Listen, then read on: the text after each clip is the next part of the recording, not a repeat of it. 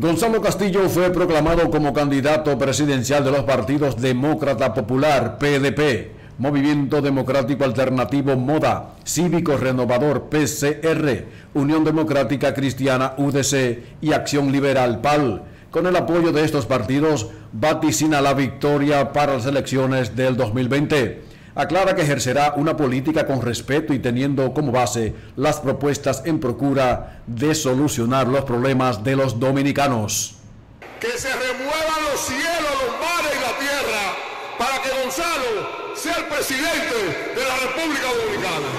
Tenemos que garantizarle a nuestra nación que en mayo tendrán nuevamente un gobierno capaz de llevar tranquilidad a sus hogares y de llevar aún más lejos todas las conquistas que hemos logrado como país en los últimos años.